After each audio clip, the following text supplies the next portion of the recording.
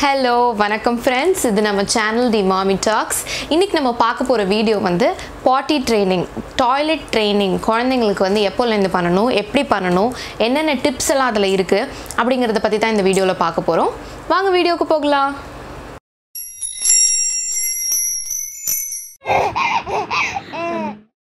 பாட்டி ட்ரைனிங் அல்லது toilet training அப்படிங்கிறது வந்து குழந்தைங்களுக்கு ஒரு டெவலப்மெண்டல் மைல்ஸ்டோன் மாதிரி. அவங்க அந்த ஏஜுக்கு கரெக்டாக வந்த பிறகோ இல்லை சில குழந்தைங்களுக்கு வேறு மாதிரி கூட இருக்கலாம். அப்போ தான் வந்து அவங்க அந்த டாய்லெட் ட்ரைனிங்கை கற்றுப்பாங்க அதாவது அவங்களுக்கு கண்ட்ரோல்டு யூரினேஷன் மோஷன் பாஸ் பண்ணுறது அதெல்லாம் தெரியும். அதாவது அந்த வளர்ச்சி வந்த பிறகு அவங்களுக்கு சொல்ல தெரியும். இல்லை அது வரத்துக்கு வர்றதுக்கு முன்னாடி காட்ட தெரியும். இந்த மாதிரி நிறைய விஷயங்கள் அவங்க ட்ரெயின் ஆகிறது பேர் தான் இந்த டாய்லெட் ட்ரைனிங் பாட்டி ட்ரைனிங் அப்படின்னு சொல்லுவோம். இதுக்கு வந்து ஒரு கல்ச்சுரல் பேக்ரவுண்ட் ஒன்று நம்ம தெரிஞ்சுக்கணும். ஹிஸ்ட்ரி அப்படின்ற மாதிரி.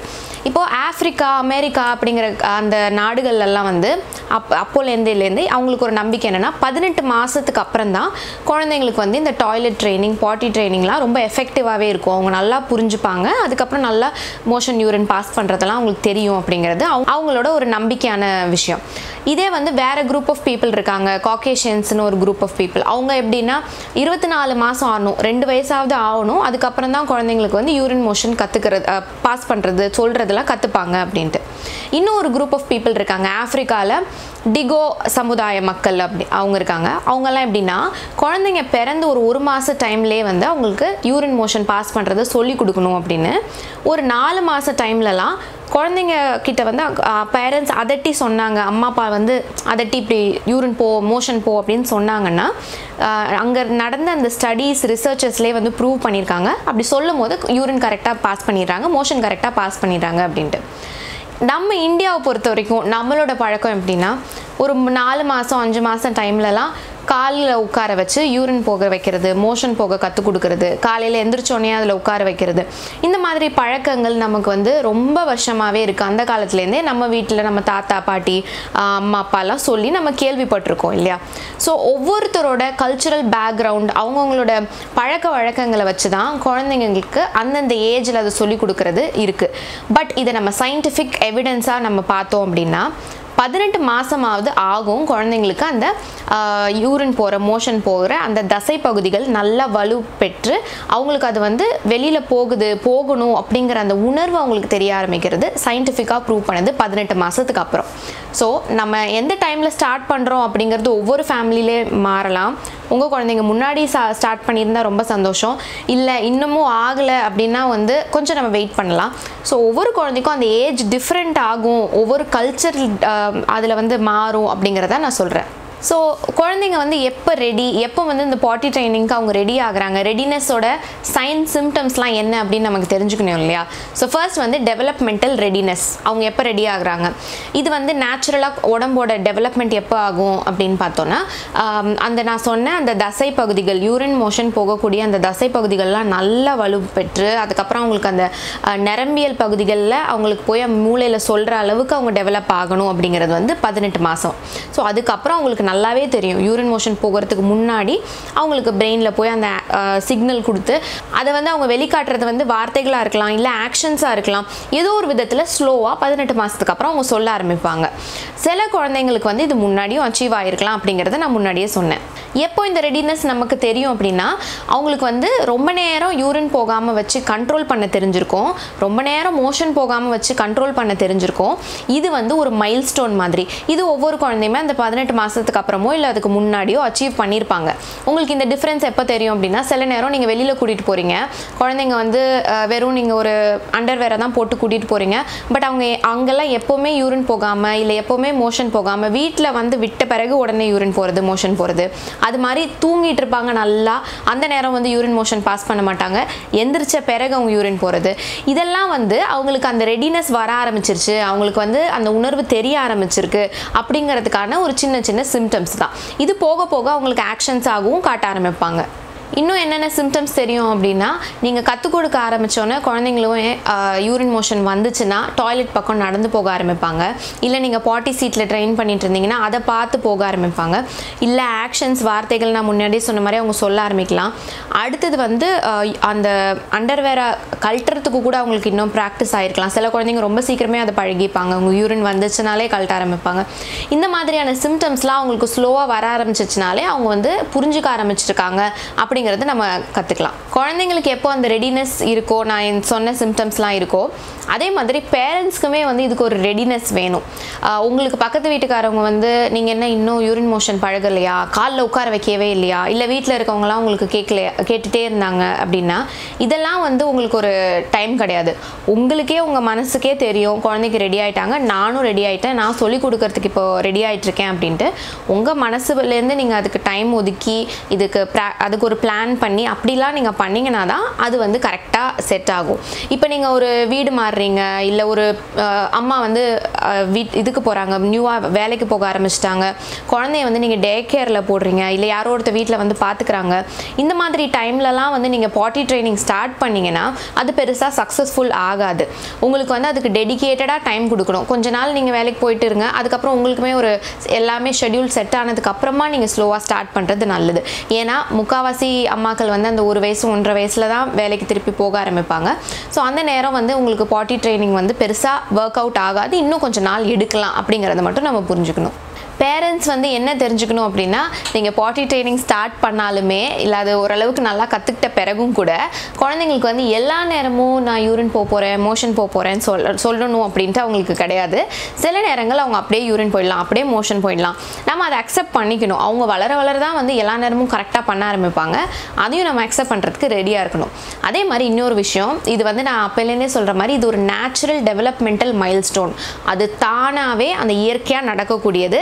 இது ஒரு காம்படிஷன் கிடையாது. பக்கத்து வீட்டு குழந்தை நாலு மாதத்துலேயே கரெக்டாக யூரின் போகிறாங்க மோஷன் போகிறாங்க என் குழந்தை ரெண்டு வயசு ஆனாலுமே இன்னும் யூரின் மோஷன் டயப்பர்லேயே போகிறாங்க இல்லை அந்த அண்டர்வேர்லேயே போகிறாங்க அப்படிங்கிற நிறைய கவலைகள் வந்து பேரண்ட்ஸ் மத்தியில் இருக்குது தயவு செஞ்சு அப்படி நினைக்காதீங்க. எல்லா மைல்ஸ்டோனும் எப்படி ஒவ்வொரு குழந்தைங்களுக்கும் மாறுமோ இதுவுமே உங்கள் குழந்தை எப்போ ரெடி ஆனாங்களோ அப்போ தான் கற்றுப்பாங்க ஸோ இந்த டாய்லெட் ட்ரைனிங் எப்படி ஸ்டார்ட் பண்ணணும்? ஸ்டெப் ஒன் வந்து இந்த யூரின் மோஷன் அப்படிங்கிற வார்த்தைகளுக்கு குழந்தைங்களுக்கு நீங்கள் ஏதாவது ஒரு வார்த்தையை சொல்லி கொடுக்கணும். இப்போ நான் முன்னாடியே நிறைய வீடியோஸில் கூட சொல்லியிருப்பேன். யூரினுக்கு வந்து உங்களுக்கு என்ன ஏதாவது ஒரு வார்த்தை. ஒன் பாத்ரூம் போகிறது சுச்சு போகிறது உச்சா போகிறது நிறைய வார்த்தைகள் நம்ம வீட்டில் யூஸ் பண்ணுவோம் இல்லையா? அந்த ஒரே வார்த்தை எப்போவுமே நீங்கள் அதை வந்து கடைபிடிக்கணும் அதே இதை எப்போயுமே சொல்லிகிட்டே இருக்கணும். அதே மாதிரி மோஷனுக்கும் ஒரு வார்த்தையை நீங்கள் ரெடி பண்ணி வச்சிடணும். அதே வார்த்தையை ஸ்ட்ரெஸ் பண்ணிக்கிட்டே இருக்கணும். என்னம்மா ஒன் பாத்ரூம் வருதா? சுச்சு வருதா? சொல்லுங்கள் சொல்லுங்கள் அப்போது குழந்தைக்கு அந்த நிஜமாவே அந்த யூரின் வரும்போது அது சொல்லறதுக்கு தெரியும். அவங்க போக போக அந்த வார்த்தையுமே கற்றுப்பாங்க இந்த வார்த்தையை நீங்கள் வீட்லேயும் யூஸ் பண்ணணும். வெளியில் போகும்போதும் கேட்கணும். எல்லா இடத்துலையுமே அந்த வார்த்தையை நீங்கள் ஸ்ட்ரெஸ் பண்ணி அவங்களுக்கு சொல்லி கொடுத்துட்டே இருக்கணும். இதுதான் step number one step number two வந்து குழந்தைங்களை நீங்கள் எங்கே யூரின் பாஸ் பண்ண வைக்க போகிறீங்க மோஷன் பாஸ் பண்ண வைக்க போகிறீங்க அப்படிங்கிறது. இது வந்து நமக்கு இங்கே இந்தியன் கல்ச்சரில் நமக்கு இந்தியன் ஸ்குவாட்டிங் மெத்தட்னு இருக்குது அதாவது நம்ம இந்தியன் டாய்லெட் எப்படி யூஸ் பண்ணுவோம்? கீழே உட்காந்து நம்ம அந்த மாதிரி மோஷன் யூரின் பாஸ் பண்ணுறோம் இல்லையா? அதே மெத்தடை நம்ம குழந்தைங்களுக்கும் சொல்லித் தரோம். அதே மாதிரி அவங்களும் பழகிட்டா பெட்டர் அப்படின்னு உங்கள் ஃபேமிலியில் நீங்கள் டிசைட் பண்ணிட்டீங்கன்னா அதுவே பழகலாம். அப்படி இல்லை அந்த பாட்டி சீட் அப்படின்னு விற்கிது இல்லையா? டாய்லெட் யூரின் போகிறதுக்காக அந்த சீட் கிடைக்கும் கடைகள்லாம். அதில் நீங்கள் ப்ராக்டிஸ் பண்ண போகிறீங்க அப்படின்னாலுமே ஓகே பட் இது ரெண்டில் எது பண்ண போகிறீங்கன்னு டிசைட் பண்ணிவிட்டு அந்த இடத்துக்கு தான் நீங்கள் வந்து குழந்தைங்கள கூட்டிகிட்டு போகணும். இப்போ நீங்கள் பாட்டி சேர் வாங்குறீங்க அப்படின்னா அதை ஏதாவது ஒரு இடத்துல வச்சுட்டு அந்த இடத்துலையே தான் வச்சுக்கணும். குழந்தைங்களுக்கு அந்த ரெகுலராக அங்கே கூட்டிகிட்டு போய் அவங்கள ப்ராக்டிஸ் பண்ணணும். அப்படி இல்லை டாய்லெட்லேயே நீங்கள் உட்கார வச்சு அந்த இந்தியன் மெத்தடில் உட்கார வச்சு பழகுறீங்கனாலுமே அதே இடத்துல தான் நீங்கள் ரெகுலராகவே பண்ணணும். ஸ்டெப் த்ரீ வந்து ஒவ்வொரு தடவையும் யூரின் மோஷன் பாஸ் பண்ணுறதுக்கு முன்னாடி நீங்கள் வந்து குழந்தைங்களுக்கு அந்த அண்டர்வேரை ரிமூவ் பண்ணி காட்டணும். குழந்தைங்களுக்குமே கொஞ்சம் வளர வளர அவங்களே தானாக ரிமூவ் பண்ண வைக்கிறதுக்கு நம்ம கற்றுக் கொடுக்கணும். ஸோ எப்போவுமே அவங்க சில குழந்தைங்க என்னென்னா நான் கவனிச்சிருக்கிறது யூரின் மோஷன் வந்துருச்சுன்னு சொல்ல தெரியும். பாத்ரூம் கிட்ட கூட போயிடுவாங்க இல்லை உங்களை கூட்டிகிட்டு போக சொல்லிடுவாங்க. ஆனால் அங்கே போனோடனே அண்டர்வேர்லேயே யூரின் போயிடுவாங்க மோஷன் போயிடுவாங்க. ஸோ அது நமக்கு ப்ராப்பர் டாய்லெட் ட்ரைனிங் கிடையாது இல்லையா? ஸோ ஒவ்வொரு தடவை நீங்கள் ப்ராக்டிஸ் பண்ணும் போதும் அந்த அண்டர் ரிமூவ் பண்ணி அவங்களுக்கு காட்டணும். இப்படி தான் நீங்கள் போகணும் அப்படிங்கிறது. ஸோ இது ஸ்டெப் நம்பர் த்ரீ அடுத்த ஸ்டெப் வந்து ஒவ்வொரு தடவையும் நீங்கள் எப்போ யூரின் மோஷனுக்கு கூட்டிகிட்டு போகணும் அப்படிங்கிறதையும் நம்ம பழகிக்கலாம். மோஷன் வந்து பெரிய குழந்தைங்க ஒரு நாளைக்கு ஒரு தடவை போகலாம் இல்லை ரெண்டு தடவை போகலாம். அது வந்து லிமிட்டடாக தான் இருக்கும். ஆனால் யூரின் பாஸ் பண்ணுறதுக்கு நம்ம ரெகுலராகவே நம்ம என்ன பண்ணலாம்னா டூ ஹவர்ஸ் ஒன்ஸ் ரெண்டு மணி நேரத்துக்கு ஒரு தடவை வந்து நீங்கள் டாய்லெட்டுக்கு கூட்டிகிட்டு போகிறதோ இல்லை அந்த பாட்டி சீட்டுக்கிட்ட கூட்டிகிட்டு போகிறதோ நம்ம ஒரு ப்ராக்டிஸாக வச்சுக்கலாம்.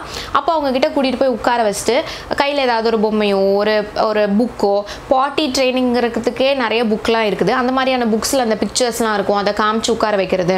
இதெல்லாம் வந்து அவங்களுக்கு புரிய ஆரம்பிக்கிறதுக்கு நம்ம ப்ராக்டிஸ் கொடுக்க போகிறோம் இல்லை அப்படி அங்கே உட்காரும் போது கரெக்டாக அந்த டூ ஹவர்ஸ் ஒன்ஸ் அவங்களுக்கு யூரினும் வந்துடலாம் ஸோ அதுலேயும் அதை பாஸ் பண்ணிடலாம். அது மாதிரி பண்ணணும். இன்னொன்று நம்ம கவனிக்க வேண்டியது ரெகுலராக ஒரு டைமுக்கு யூரின் பாஸ் பண்ணுறதுக்கு நம்ம ட்ரெயின் பண்ணணும். அது எப்போனா தூங்க போகிறதுக்கு முன்னாடி தூங்கி எந்திரிச்ச பிறகு அதுக்கப்புறம் வெளியில் போயிட்டு வராங்க அப்படின்னா அப்போ ஒரு தடவை. இல்லை வெளியில் போகிறோம் அப்படின்னா அதுக்கு முன்னாடி ஒரு தடவை. இந்த மாதிரியான விஷயங்களை அவங்களுக்கு வந்து நம்ம இப்போலேருந்தே அதை ப்ராக்டிஸ் பண்ண ஆரம்பிச்சிட்டோம் அப்படின்னா வெளியிலே போயிட்டாங்கனாலும் நம்ம மோஷன் பாஸ் பண்ணுறது யூரின் பாஸ் பண்ணுறது அப்படிலாம் வந்து கம்மியாக ஆரம்பிக்கும். வீட்டிலே வந்து எல்லாம் பாஸ் பண்ணிவிட்டு போகிறது நல்லது அப்படிங்கிறத உங்களுக்கு புரிய ஆரம்பிக்கும். ஸோ இது எல்லா விஷயங்களுமே நம்ம வந்து ரெகுலராக ப்ராக்டிஸ் பண்ணுறது ரொம்பவே நல்லது.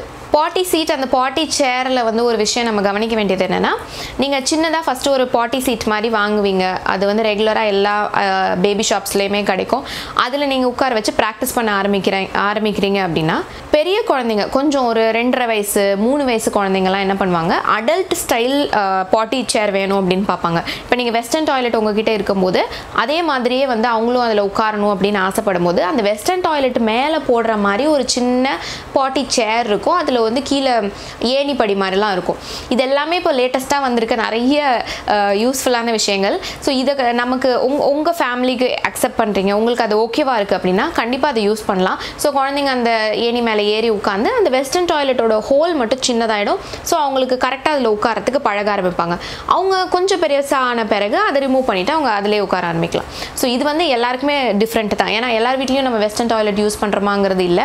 அதே மாதிரி இந்தியன் டாய்லெட் மெத்தடே நீங்கள் பெ பெஸ்ட்டுன்னு நினைக்கிறவங்க வந்து இந்தியன் டாய்லெட் இதை வந்து நீங்கள் சூஸ் பண்ணிக்கலாம். பட் இந்த மாதிரி ஆப்ஷன்ஸ் இருக்குது அப்படிங்கிறதும் நம்ம தெரிஞ்சுக்கணும். ஸோ டாய்லெட் ட்ரைனிங் வந்து பொறுமையாக நீங்கள் வந்து கற்றுக் கொடுக்க ஆரம்பிச்சிட்டிங்க அப்படின்னா கொஞ்ச நாள் கழிச்சு நீங்கள் கரெக்டாக அவங்க கூட்டிகிட்டு போகும்போது அங்கே யூரின் போடுறது மோஷன் வரும்போது நீங்கள் பாட்டி சீட்டில் உட்காந்துட்டிங்கன்னா அவங்க போயிட்டாங்க அப்படின்னா அவங்களுக்கு நீங்கள் அப்ரிஷியேட் பண்ண ஆரம்பிக்கணும். குழந்தைங்களுக்கு அப்ரிசியேஷன் ரொம்பவே பிடிக்கும் ரொம்பவே முக்கியம். ஸோ நீங்கள் என்ன பண்ணலாம்? குழந்தைங்க கை தட்டலாம். வெரி குட் பண்ணிட்டீங்க அப்படின்ட்டு ஒரு முத்தம் கொடுக்கலாம் ஒரு ஹக் பண்ணலாம். இல்லை அவங்களுக்கு பிடிச்ச பொம்மை எடுத்துகிட்டு வந்து கையில் கொடுக்கலாம். வெரி குட் நீங்கள் பண்ணதுக்கு தான் இந்த இது ரிவார்டு அப்படின்னு. ஏதோ ஒரு விதத்தில் குழந்தைங்களுக்கு நீங்கள் அப்ரிசியேட் பண்ணிக்கிட்டே இருக்கணும். ஏன்னா அவங்களுக்கு அது போர் அடிக்க ஆரம்பிச்சிருச்சுன்னா வந்து அதை அவங்க பெருசாக கற்றுக்கிறதுக்கும் இன்ட்ரெஸ்ட்டு காட்ட மாட்டாங்க. ஸோ அப்ரிசியேஷன் ரொம்பவே முக்கியம். ஸோ இந்த டாய்லெட் ட்ரைனிங்கோ இல்லை பாட்டி ட்ரைனிங்கோ வந்து எவ்வளோ நாள் ஆகும்? எப்போ தான் குழந்தைங்க கற்றுப்பாங்க அப்படின்னு பார்த்தீங்கன்னா நம்ம வந்து மஸ்குலர் லெவலில் அந்த தசை பகுதிகள் டெவலப் ஆகிறது பதினெட்டு மாதம்னு சொல்கிறோம் பட் ஃபுல்லாக குழந்தைங்க கற்றுக்கிறதுக்கு வந்து மூணு வயசாவது ஆகும் அப்படிங்கிறதான் நிறைய ஸ்டடீஸ் அண்ட் ரிசர்ச்சஸ் சொல்கிறாங்க அதுவும் வந்து கேர்ள் பேபிஸ் கொஞ்சம் சீக்கிரம் கற்றுப்பாங்க பாய்ஸ் வந்து கொஞ்சம் லேட்டாக தான் கற்றுப்பாங்க இப்போ ஒரு லேட்டஸ்ட் ரிசர்ச்சில் என்ன சொல்லியிருக்காங்க அப்படின்னா அந்த டே டைம் ட்ரைனிங் அதாவது பகலில் அவங்களுக்கு கரெக்டாக எல்லாமே போயிட்டு வர தெரியுது. பட் நைட்டுக்கு வந்து ரொம்பவே டிலே ஆகுது. நைட் டைம் ட்ரைனிங் வந்து கற்றுக்கிற போது எப்படி இருக்கும்னா ஒரு நாலு வயசு குழந்தைங்களெல்லாம் எடுத்து பார்த்தோன்னா இருபத்தஞ்சு சதவீதம் பாய்ஸ் வந்து இன்னுமே நைட் டைம் ட்ரைனிங் ஆயிருக்க மாட்டாங்க. அதே மாதிரி பதினஞ்சு சதவீதம் கேர்ள்ஸ் வந்து இன்னுமே நைட் ட்ரெயின் ஆயிருக்க மாட்டாங்க நாலு வயசில் அப்படின்னு லேட்டஸ்ட் ரிசர்ச்சஸ்லாம் சொல்கிறாங்க ஸோ நமக்கு இன்னுமே டைம் எடுக்கும் அப்படிங்கிறத மட்டும் நம்ம தெரிஞ்சுக்கணும். ஸ்கூல் போயிட்டுமே கூட அவங்களுக்கு டே டைமில் கரெக்டாக யூரின் மோஷன் சொல்லிட்டு போயிட்டு தெரியும். ஆனால் நைட்டில் மட்டும் தூங்கும் போது அப்படியே போயிடுவாங்க. ஸோ இந்த விஷயங்களை அவங்களுக்கு திரும்பி திரும்பி நம்ம கற்றுக் கொடுத்துக்கிட்டே தான் இருக்கணும். அவங்களோட ஏஜுக்கு தகுந்த மாதிரி தான் அவங்களும் டெவலப் ஆகி வருவாங்க. ஸோ எல்லாத்துக்குமே மெயின் விஷயம் நம்ம தெரிஞ்சுக்கிறது வந்து பொறுமை. பொறுமையாக நம்ம இதெல்லாமே கற்றுக் கொடுத்துட்டே இருந்தோம்னா கண்டிப்பாக வந்து சீக்கிரமாக பாட்டி ட்ரைனிங் டாய்லெட் ட்ரைனிங் அவங்களுக்கு அச்சீவ் பண்ணிடுவாங்க. சில குழந்தைங்களுக்கு வந்து பாட்டி ட்ரைனிங் கரெக்டாக போயிட்டு இருக்கும் கரெக்டாக அவங்க எல்லாமே சொல்ல ஆரம்பிச்சிட்டு இருப்பாங்க ஆனால் திடீர்னு கொஞ்ச நாளில் வந்து எல்லாத்தையுமே மறந்துடுறது. அப்புறம் திருப்பி யூ யூரின் மோஷன் அப்படியே அந்த இருக்கிற இடத்துலயே போக ஆரம்பிச்சிடுறது சொல்ல தெரியாமல் போயிடுறது. இந்த மாதிரியான ரிக்ரெஷன் ப்ராப்ளம்ஸ் திடீர்னு கொஞ்ச நா கொஞ்ச நாளில் வந்து ஸ்டாப் பண்ணுறது வந்து இருக்குது நிறைய குழந்தைங்களுக்கு இருக்குது அது ஏன் அப்படி அப்படிங்கிறத நம்ம தெரிஞ்சுக்கிட்டோன்னா அந்த நேரத்தில் குழந்தைங்களுக்கு ஏதாவது உடம்பு சரியாமல் போயிருக்கலாம். இல்லை அவங்களுக்கு எமோஷனல் ஸ்ட்ரெஸ் இருக்கலாம். குழந்தைங்களுக்கு என்ன எமோஷனல் ஸ்ட்ரெஸ் அப்படின்னு கேட்டிங்கன்னா குழந்தைங்களுக்குமே இருக்குது அவங்களுக்கு வந்து ஒருவேளை நீங்கள் செகண்ட் ப்ரெக்னென்சி உங்களுக்கு ஆயிருக்கலாம். நீங்கள் வந்து குழந்தைய கொஞ்சம் கவனிக்காமல் இருந்திருக்கலாம். இல்லை இன்னொரு குழந்தை பிறந்திருக்கலாம். இல்லை அம்மா வந்து வேலைக்கு திரும்பி போயிருக்கலாம். ஒரு நியூ டே கேரில் குழந்தைய விட்டுருக்கலாம். வீட்டுக்கு ஒருத்தவங்க புதுசாக வந்திருக்கலாம். இந்த இல்லை வேறு வீடுக்கு நீங்கள் மாறி இருக்கலாம் எவ்வளோ விஷயங்கள் இல்லை எவ்வளோ என்விரான்மெண்ட் சேஞ்சஸ் நடந்தாலுமே குழந்தைங்க ஒரு விஷயத்தை கற்றுக்கிட்டு இருக்கும் போது அவங்களுக்கு அதில் ஒரு ஸ்டெப் டவுன் வருவாங்க. அவங்க வந்து அதை மறந்துடுவாங்க திடீர்னு அவங்க வந்து அதை அக்செப்ட் பண்ணிக்க மாட்டாங்க. ஸோ அப்படி இருக்கும் போது நீங்கள் குழந்தைங்களுக்கு வந்து கொஞ்சம் வெயிட் பண்ணி திருப்பியும் அந்த ஃபஸ்ட்லேருந்து ஸ்டார்ட் பண்ணி ஸ்டெப் பை ஸ்டெப்பாக அவங்களுக்கு சொல்லி தரணும். கண்டிப்பாக பேஷண்ட்டாக இதை நீங்கள் ட்ரை பண்ணிங்கன்னா அவங்க திருப்பியுமே பழைய நிலைமைக்கு வந்துடுவாங்க இன்னொரு விஷயம் வந்து குழந்தைங்களுக்கு அந்த உடம்பு சரியாமல் போகிறது மற்ற ரீசன்ஸ்லாம் தவிர யூரின் மோஷன் பாஸ் பண்ணும்போது பெயின் வந்திருக்கலாம். யூரினரி இன்ஃபெக்ஷன் ஏதாவது வரும்போது யூரின் பாஸ் பண்ணும்போது எரிச்சல் வந்திருக்கலாம். அது மாதிரி வந்து மோஷன் பாஸ் பண்ணும்போது ரொம்ப கான்ஸ்டிபேட் ஆகி மலச்சிக்கல் ஆகி கஷ்டப்பட்டு முக்கிட்டு போயிருந்திருக்கலாம். ஸோ அந்த மாதிரி இருக்கும்போது அவங்களுக்கு திருப்பியும் அந்த பாட்டி ட்ரைனிங் யூரின் மோஷன் பாஸ் பண்ணுறதுல தான் அந்த கற்றுக்கிறதுலலாம் பெருசாக இன்ட்ரெஸ்ட் காட்ட மாட்டாங்க. ஸோ நம்ம அதில் என்ன கவனிக்கணும் அப்படின்னா நல்ல நார்ச்சத்து இருக்கக்கூடிய சாப்பாடுலாம் சாப்பிட வச்சு குழந்தைங்களுக்கு வந்து அந்த மோஷனை ஃப்ரீ ஆகிறதுக்கு நம்ம எவ்வளோ ஹெல்ப் பண்ணிங்கன்னா அதுக்கப்புறம் திருப்பியும் நீங்கள் டாய்லெட் ட்ரைனிங் பண்ண ஆரம்பிக்கலாம். நான் சொன்ன இந்த ரிக்ரெஷன் ப்ராப்ளம்லாம் ஸ்டார்டிங்கில் அந்த டாய்லெட் ட்ரைனிங் ஸ்டார்டிங்லேயே கொஞ்சம் நாளில் திடீர்னு இவங்க கற்றுக்காம போயிடுறாங்க திடீர்னு ஸ்டாப் பண்ணிடுறாங்க அப்படிங்கும்போது தான்.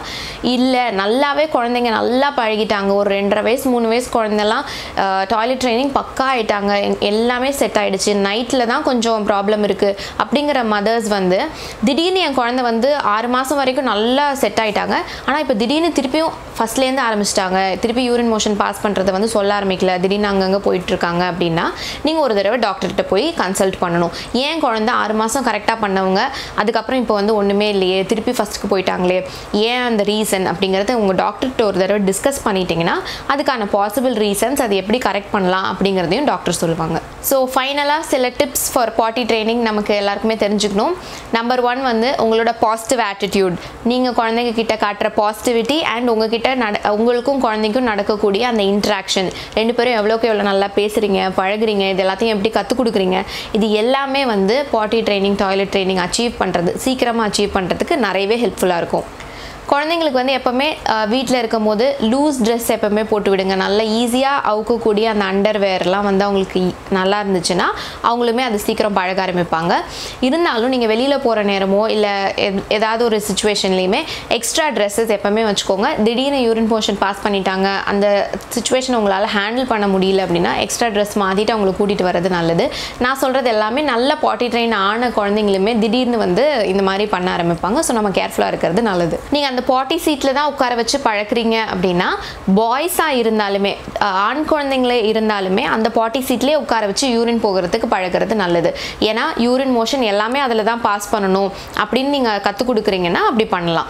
அப்படி இல்லை நீங்கள் டாய்லெட்டுக்கு ஸ்ட்ரைட்டாக கொண்டு போய் தான் நீங்கள் யூரின் மோஷன் பாஸ் பண்ணுறது எல்லாமே பண்ணுறீங்க அப்படின்னா ஆண் குழந்தைங்களுக்கு நீங்கள் நிற்க வச்சு யூரின் பாஸ் பாஸ் பண்ணுறது சொல்லி கொடுக்க ஆரம்பிக்கலாம்.